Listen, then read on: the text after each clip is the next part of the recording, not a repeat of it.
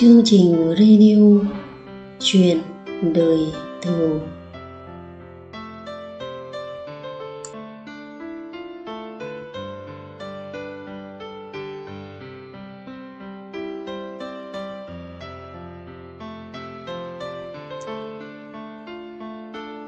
Buổi tối, với khuôn mặt mệt mỏi, đột nhiên anh Triều mến ghé sát vợ rồi hỏi.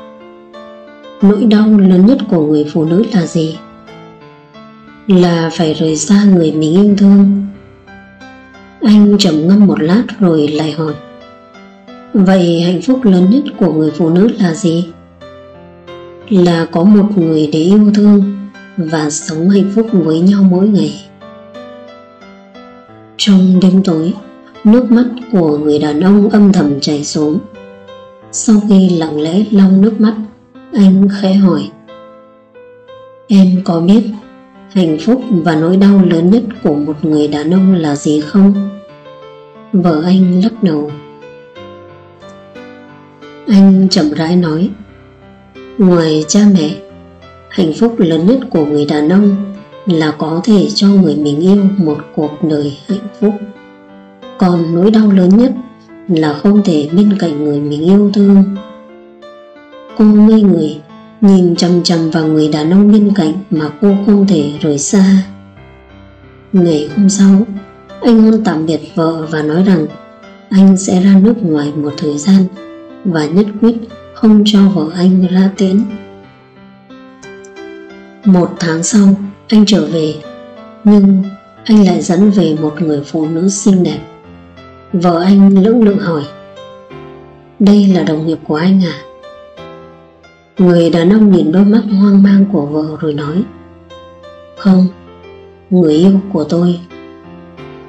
Cô đột nhiên mặt biến sắc Đôi mi đầy nước mắt. Anh chua xót trong lòng Muốn nói không phải Không phải Nhưng lại kiềm chế được. Chỉ lạnh lùng rồi nói Chúng ta ly hôn nhé. Vợ anh đơ người Cứ tưởng mình đang nghe nhầm anh lại nói, Chúng ta ly hôn đi. Rồi chỉ vào người phụ nữ xinh đẹp vừa đưa về và nói, Cô ấy mới là người tôi cần tìm. Người phụ nữ xinh đẹp đột nhiên quay đi. Vợ anh bất chấp những gì đang xảy ra trước mặt, Vẫn hỏi, Anh nói sẽ suốt đời yêu thương em mà, Đúng không? Nhưng cuối cùng Vợ anh vẫn đi thu nhặt quần áo và rời khỏi nhà. Trước khi đi, Cô đưa cho anh một lọ thuốc dạ dày rồi nói, Anh nhớ uống nó hàng ngày là tốt rồi. Anh giả vờ bình tĩnh, Hơi ngẩng đầu lên, Nhìn chằm chằm lên trần nhà. Cô khóc, Chưa được bao lâu, Tại sao anh lại trở thành như vậy? Trở nên quá xa lạ với em như vậy. Vừa dứt câu Cô quay người đi thẳng. Anh tự miệt miệng mình, Cố gắng hạ thấp giọng, Nước mắt lăn xuống. Người phụ nữ xinh đẹp đưa cho anh một chiếc khăn rồi nói, Hãy đuổi theo và nói với cô ấy sự thật. Nhưng anh lắc đầu. Ba tháng sau, Cả hai ký đơn ly hôn, Anh lập tức biến mất trước mặt cô. Thực tế lúc này Bệnh ung thư dạ dày của anh đã quá nghiêm trọng. Hàng ngày phải dựa vào thuốc để duy trì.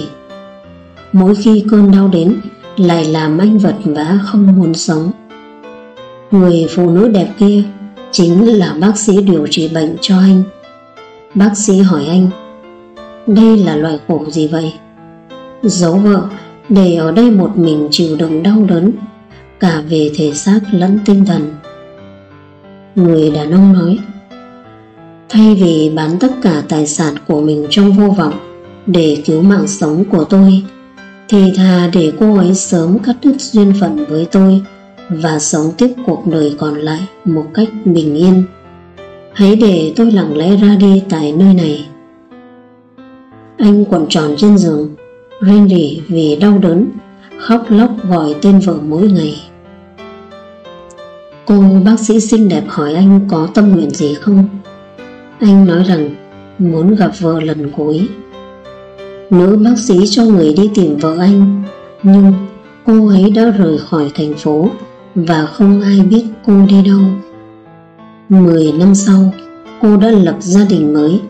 Hai người cũng đã có một em bé đáng yêu. Cô đã tận dụng cơ hội đi công tác để đi thăm lại thành phố yêu và hận năm xưa Lần này cô muốn tìm hiểu tại sao chồng mình trong vòng một tháng lại thay lòng đổi dạ tàn nhẫn với cô đến như vậy. Cô đã tự hỏi mình câu hỏi đó suốt bao nhiêu năm qua. Theo lời kể của hàng xóm, cuối cùng cô cũng tìm thấy người bác sĩ. Tuy không còn đẹp như xưa, nhưng vẫn rất đoan trang. Nữ bác sĩ đến trước mặt cô không nói gì, rồi đưa cô đến một nghĩa trang lạnh lẽo và chỉ vào một tấm bia mộ. Anh ấy ở đây đã 10 năm rồi. Tôi chỉ là một bác sĩ bình thường, chịu trách nhiệm điều trị bệnh cho chồng của chị. Anh ấy đã nhận được giấy nhập viện khi biết căn bệnh của anh ấy không thể chữa khỏi. Nhưng anh ấy không muốn vì bệnh tình của mình mà liên lụy đến chị, không muốn chị phải khổ và ảnh hưởng đến cuộc sống tương lai sau này của chị. Vì thế, anh đã cầu xin tôi đến nhà và làm người thứ ba trước mặt chị. Nghe xong những lời đó, cô nhìn vào bia mộ, nước mắt rơi xuống như mưa. Bây giờ, cô mới nhận ra tại sao anh lại nói hạnh phúc lớn nhất của người đàn ông là có thể cho người mình yêu một cuộc đời hạnh phúc. Còn nỗi đau lớn nhất là không thể bên cạnh người mình yêu thương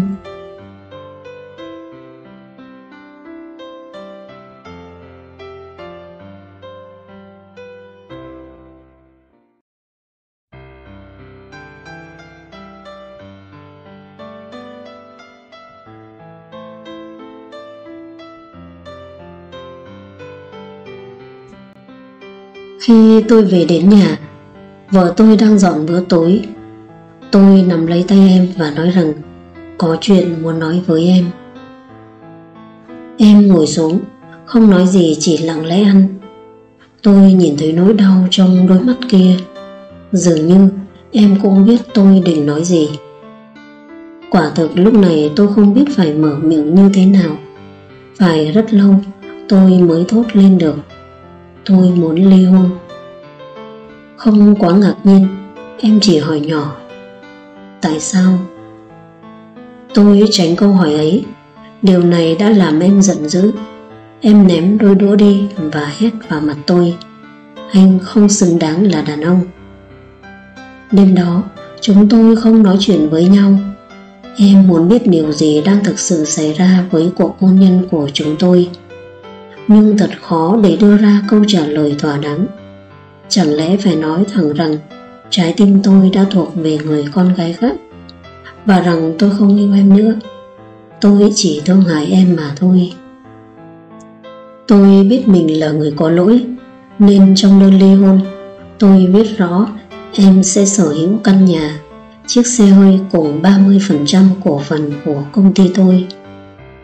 Em liếc nhìn và sau đó xé nó ra từng mảnh. Người phụ nữ đã gắn bó với tôi 10 năm qua đột nhiên trở thành một người xa lạ. Cuối cùng, em cũng òa khóc. Trái tim tôi cũng giản vật ghê gớm.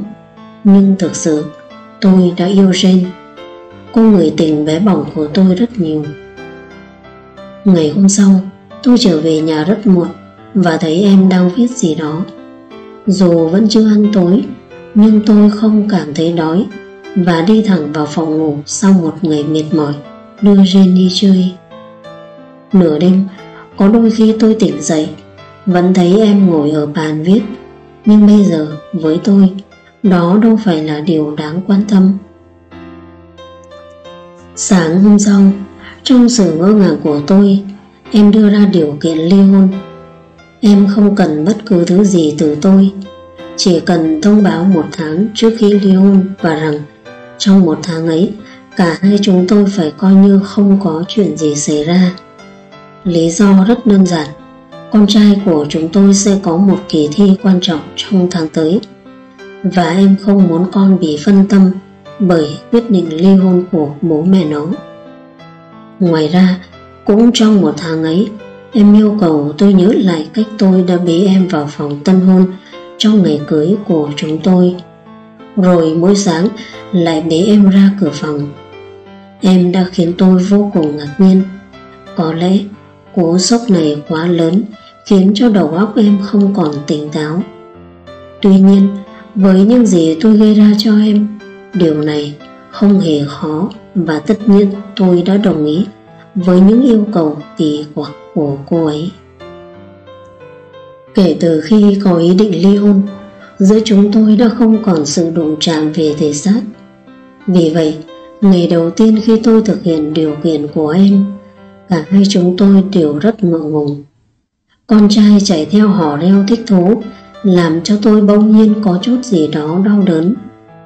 Tôi bế em từ phòng ngủ ra phòng khách, đặt xuống cửa và em ra ngoài đợi xe buýt, còn tôi lái xe đến văn phòng. Thế là kết thúc ngày thứ nhất. Vào ngày thứ hai, cả hai chúng tôi đã hành động tự nhiên hơn. Em dựa vào ngực tôi, tôi có thể ngửi được mùi hương từ áo khoác của em. Chợt nhận ra rằng đã lâu tôi không còn thói quen nhìn ngắm người phụ nữ này. Có vẻ như em đã không còn trẻ nữa. Những nếp nhăn trên khuôn mặt xuất hiện, mái tóc cũng đã sơ xác hơn xưa. Cuộc hôn nhân của chúng tôi đã lấy đi tuổi trẻ của em. Bỗng nhiên, trong đầu tôi lóe lên câu hỏi Tôi đã làm gì với em như thế này? Sang ngày thứ ba, rồi ngày thứ tư, khi nhấc bổng em lên, tôi nhận thấy một cảm giác rất đối quen thuộc. Đây chính là người phụ nữ đã đi cùng tôi suốt 10 năm qua. Vào ngày thứ năm và thứ sáu, tôi ngạc nhiên nhận ra rằng sự thân thiết tưởng chừng ngủ quên từ lâu nay bỗng nhiên trở lại. Tôi đã không nói với Jen điều này. Cho đến một ngày, tôi thấy em thở dài vì mọi trang phục thường ngày dường như rộng hơn. Tôi giật mình, thấy em đã gầy đi rất nhiều. Có lẽ em đã phải giấu kín rất nhiều đau đớn và cay đắng trong tim. Bố à, đến giờ bố bế mẹ ra rồi kìa. Lời nói của cậu con trai khiến cho tôi bừng tỉnh. Đối với nó, hình ảnh này đã trở thành một phần thiết yếu hàng ngày.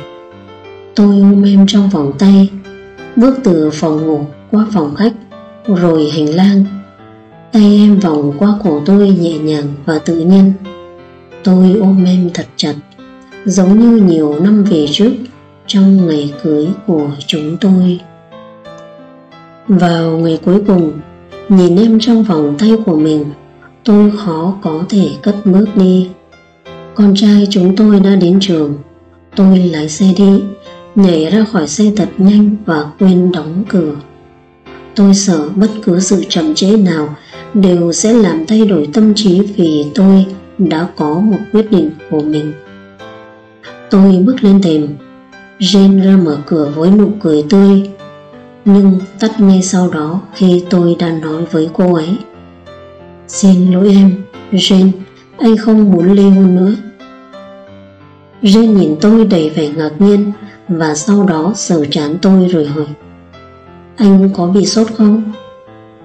Tôi gỡ tay cô ấy ra Xin lỗi, Jane, anh sẽ không ly gì Anh nhận ra rằng cuộc hôn nhân của anh trở nên nhàm chán có lẽ vì cô ấy và anh không đánh giá cao những chi tiết tưởng chừng vụn vặt trong cuộc sống hôn nhân, chứ không phải vì không còn tình yêu. Bây giờ anh nhận ra rằng anh đã đưa cô ấy bước vào cuộc đời anh, thì có chết, anh cũng phải chết cạnh cô ấy. Jane há hốc miệng khi nghe tôi nói và đột nhiên cô ấy cho tôi một cái tát như trời giáng rồi đóng sầm cửa lại và bật khóc. Tôi bước xuống cầu thang và lái xe đi, Trong lòng nhẹ bẫng Đi qua tiệm hoa bên đường, Tôi mua một bó hoa thật đẹp về tặng vợ Cô bán hàng hỏi tôi muốn viết gì trên bưu thiếp Tôi mỉm cười và viết, Anh sẽ bế em ra vào mỗi buổi sáng cho đến khi cái chết chia lìa chúng ta.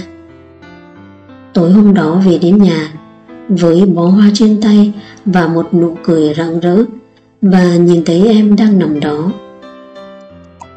Tôi biết được sự thật khi đã quá muộn.